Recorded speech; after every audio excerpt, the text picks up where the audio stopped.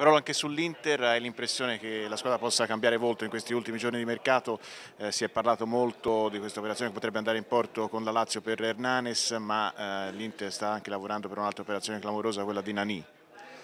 Io penso che l'Inter sta lavorando e forse anche eh, Toir, eh, che ho visto a fianco il Moratti allo stadio, insomma ha capito che il clima è quello di all'Inter, quello anche di, di, comprare, magari di, di farlo un po' più velocemente che quel lavoro che comunque resta buono di valorizzazione dei giovani che in altre piazze è più semplice, il tifoso interista è un tifoso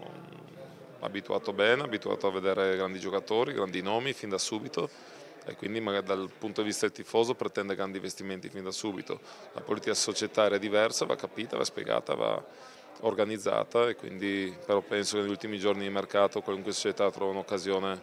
per apportare qualcosa di, di buono che magari all'inizio del mercato non, non è sviluppabile, quindi anche l'Inter non si farà sicuramente non perderà l'occasione di prendere qualche buon giocatore. Obiettivo massimo per l'Inter comunque l'Europa League?